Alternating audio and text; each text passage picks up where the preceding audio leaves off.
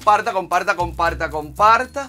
No se canse de compartir, por favor, porque tenemos imágenes exclusivas. Tenemos todo, todo, todo, todo, todo, todo lo que usted está buscando. Tenemos las informaciones.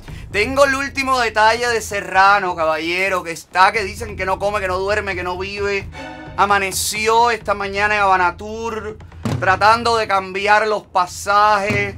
Dicen que los familiares eh, acá en Estados Unidos están desesperados también tratando de con la JetBlue cambiar el pasaje. Hasta ahora no lo ha cambiado, hasta donde me dicen, no lo ha cambiado.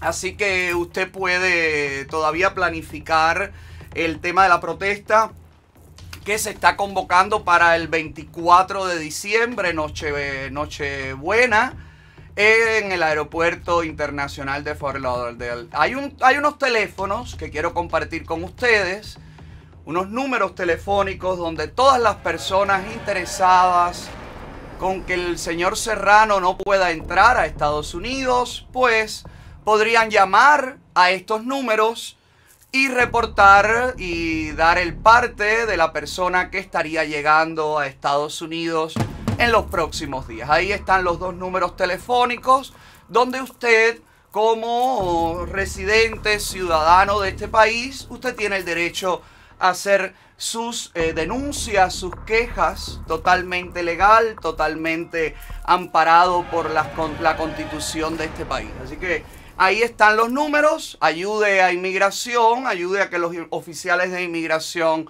pues conozcan quiénes son las personas que tienen visa para llegar a un puerto de entrada en Estados Unidos. Recordemos que una visa no te garantiza la entrada a ningún territorio, te, garantiza la llegada hasta un puerto de entrada en donde un oficial de inmigración tiene la libertad de decir si usted es apto o no para tener el beneficio de entrada a un país. En caso de que inmigración reciba eh, una luz de llamadas, una luz de denuncias, eh, supongo yo que eh, el señor Serrano a su llegada a, frente a un oficial de inmigración pues será sometido a una entrevista un poco más profunda, un poco más eh, específica, donde en caso de mentir pues estaría en riesgo de que no lo dejen entrar a Estados Unidos. La, para que después no digan que yo que no quiero que el hombre venga, que yo soy mala persona, ti, ti, ti, Mira, Serrano, te tenemos opciones para que tú puedas entrar sin ser visto. Por ejemplo, eh, puedes venir como polizón en un avión. ¿eh? En caso de que la gente te espere en la puerta del aeropuerto, bueno, tú puedes llegar dentro del equipaje, también puede ser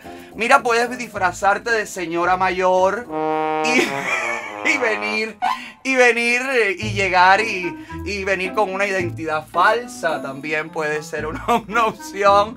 Y también depende de la flexibilidad que tengas puedes venir dentro de un case de animales, un case de mascotas. Puedes venir. También hay una opción, Serrano, pues yo sé, a lo mejor ahora mismo Serrano está tratando de doblarse viendo el programa para meterse dentro de una jaula de mascota.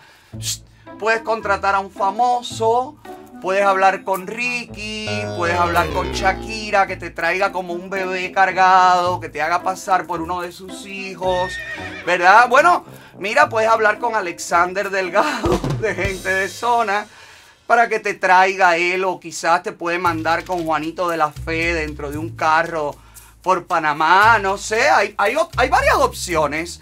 No, no te deprimas, Serrano, ¿eh? No te deprimas porque Llegar, vamos a ver, vamos a ver, vamos a ver. De que viene, viene. Ahora, de que lo dejen entrar, eso es lo complicado. Mira, hace un fin de semana, el fin de semana pasado, hace tres días exactamente, tres, cuatro días, se llevó a cabo una manifestación en, acá en Miami para los ciudadanos cubanos, los, eh, familiares de cubanos que están reclamados por el tema del parol de reunificación familiar. Bueno, pues estuvieron protestando en la calle 8 las imágenes cortesía de Cuba en Miami.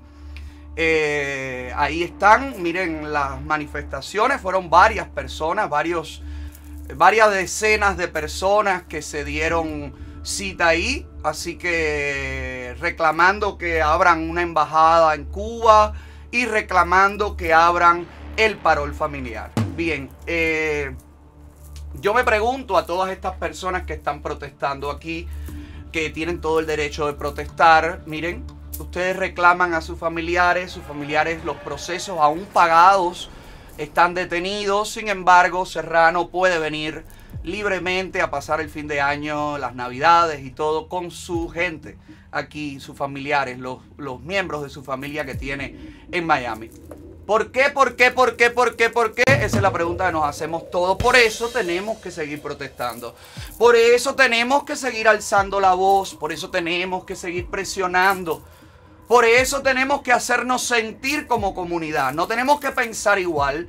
No tenemos que coincidir en cada uno de los puntos. No. Lo que tenemos que tener es un objetivo común. En este caso, si no podemos reunirnos con los nuestros por miles de trabas burocráticas, ¿por qué los comunistas sí tienen libre, eh, libre camino, puerta abierta para llegar a Estados Unidos? No lo digo solamente por Serrano, a Mauri Pérez